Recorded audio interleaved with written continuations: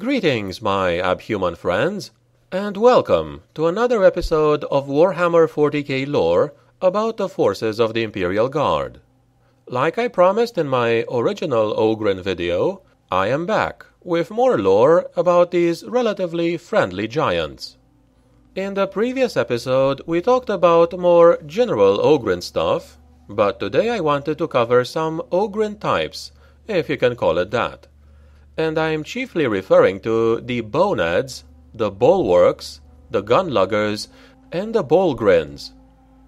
I am your host, the Grimdark Narrator, and without further ado, let us learn more about these rather stupid but incredibly strong soldiers, shall we?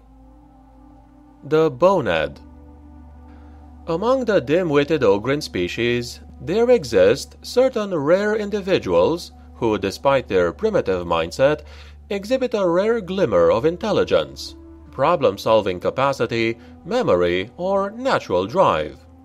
Such individuals quickly stand out among their brothers, making them ideal for the procedure known as biochemical Ogryn neural enhancement, or BONE. Recipients of such procedures generally refer to themselves as boneheads and possess enhanced cognitive capabilities well beyond those of a regular Ogryn. Many are able to remember their own name, count some of their fingers, or even make tactical decisions beyond hitting things. Capabilities that quickly mark them out as eligible for positions of limited authority. Boneheads are often the brains of their unit, and other Ogryns look to them for leadership both on and off the battlefield. To other Ogryns, the fact that a bonehead even holds his rank is often reason enough to obey, and most are content to trust that everyone who remembers as much as a bonehead probably knows best anyway. As such, a bonehead led unit often has few discipline problems and a clearly established hierarchy assuming everyone remembers what they are supposed to be doing at any given time.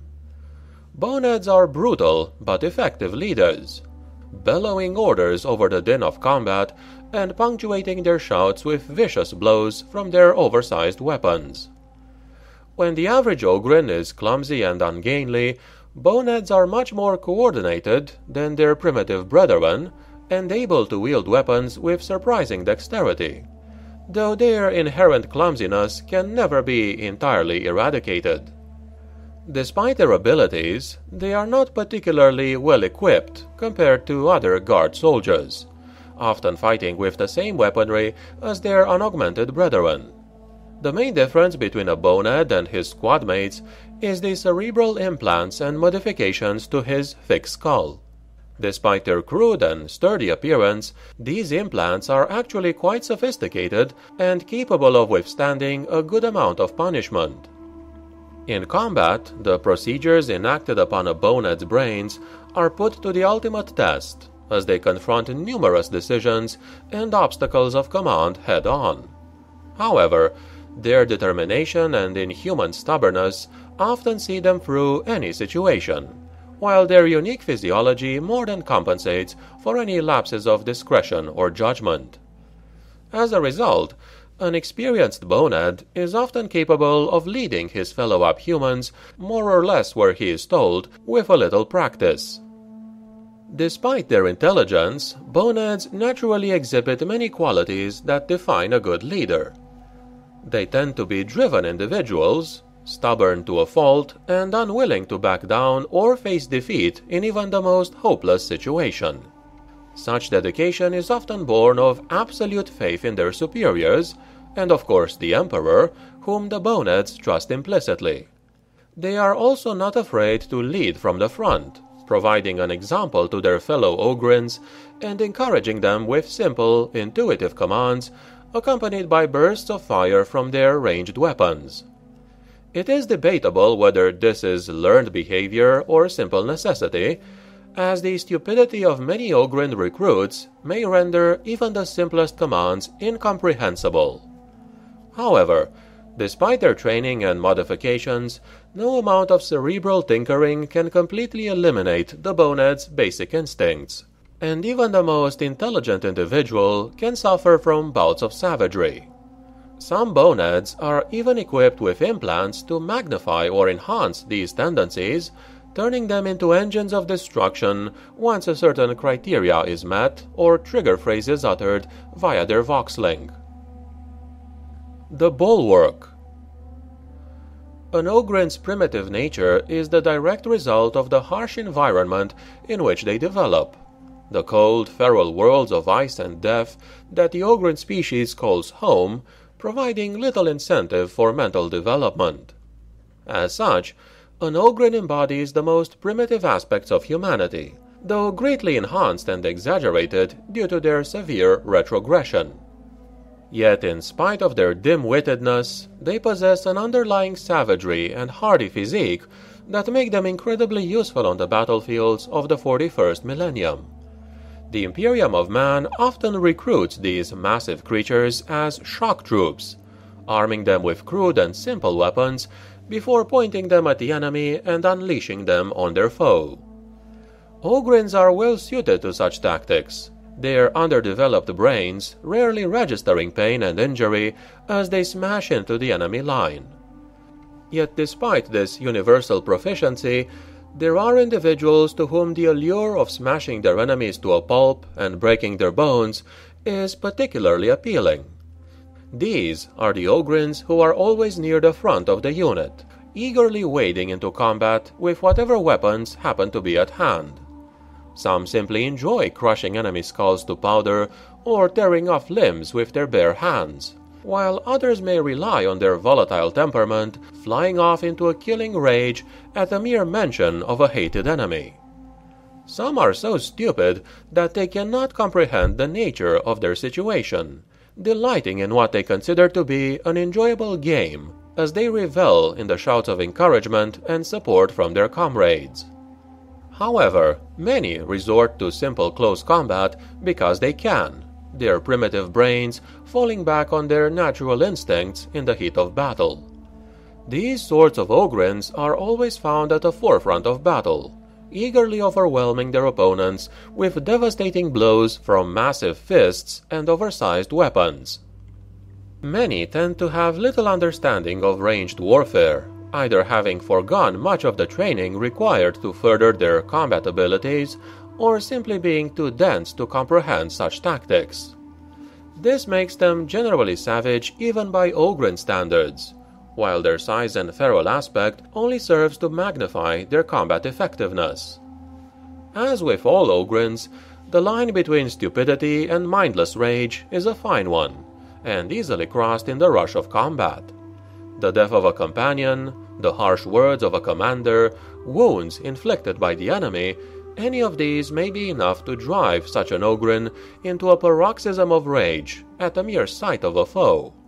This propensity towards violence often serves to make their legendary short tempers even shorter, while a bulwark at the height of his anger is a rampaging whirlwind of destruction that dashes his foes to pieces with the sheer force of his blows. In combat, a bulwark is the embodiment of primitive savagery and rage fighting without thought of restraint or self preservation.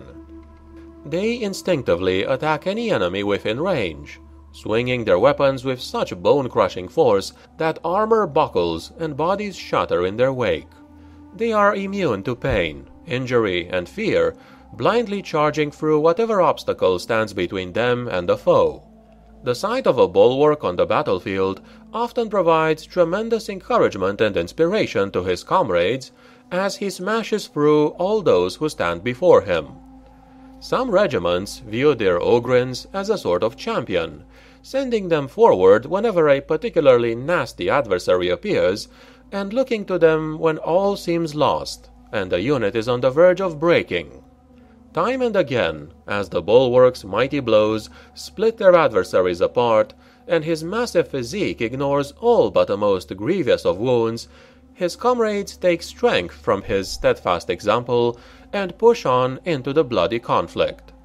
At other times, the bulwark may serve as a rock upon which the unit is grounded, an unbreakable foundation for his comrades to cling to, and an endearing example of faith and devotion.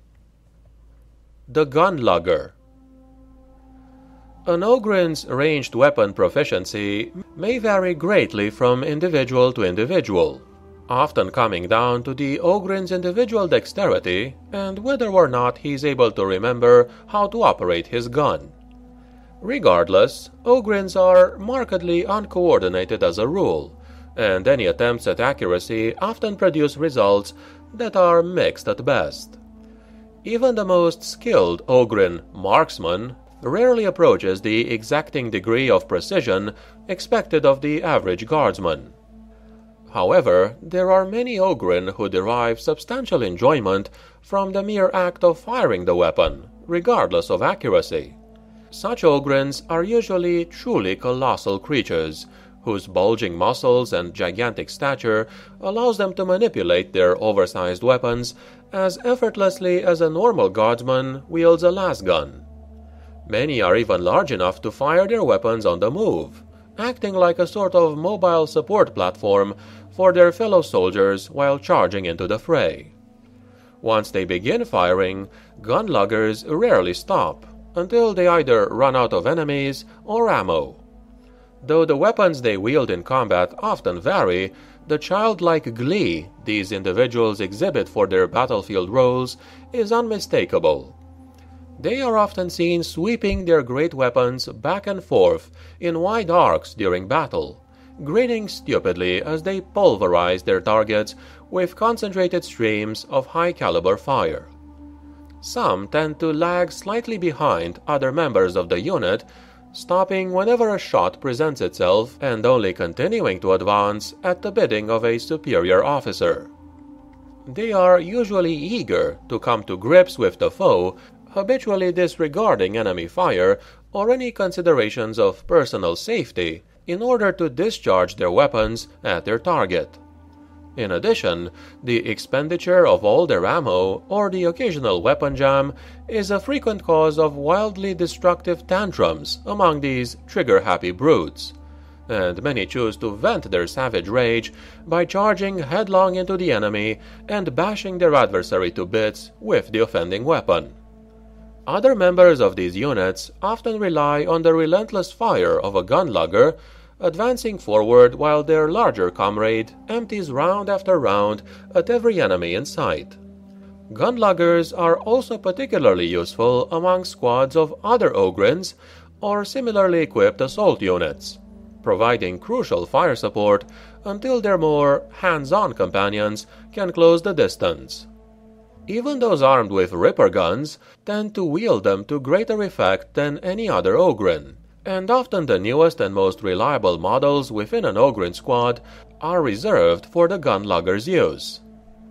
Due to their constant exposure to enemy fire, some gunluggers hold reputations for outstanding bravery and stalwart determination among the units they fight alongside, serving as mobile rallying points and potent examples of bravery to any faltering ally. They are generally battered in appearance, their thick hides scarred and pitted from countless impacts that could have severely incapacitated or killed any other soldier. Yet their remarkably resilient physiology often allows them to shrug off such blows without difficulty, ignoring small arms fire and shrapnel as a man might ignore the buzzing of a fly. Many gunluggers carry other items to add to their destructive capability, in addition to their firearms, including grenades, anti tank bombs, and other simple explosives which they may hurl at the enemy. These weapons are often quite effective in the hands of a gunlugger, assuming he remembers how to properly arm the device or remembers it how to use it in the frenzy of battle. Some compensate for such errors by hurling multiple charges at once, or expanding their bandoliers as quickly as possible. Though rarely landing where the Ogryn intended, the volatile payload of such weapons frequently remedies any concern regarding the Ogryn's accuracy. The Bullgryns Bullgryns are clad in custom-made carapace armor, made out of discarded tank tracks and carry crude assault weapons intended to capitalize on the abhumans' stature and resilience. While some wield power mauls or buckler like brute shields, the simple but effective slab shields are their trademark, locking together to form a mobile defense line. So deployed, these Bullgryn units provide their comrades with a wall of walking cover as they advance across the battlefield, soaking up vast volumes of enemy fire in the process.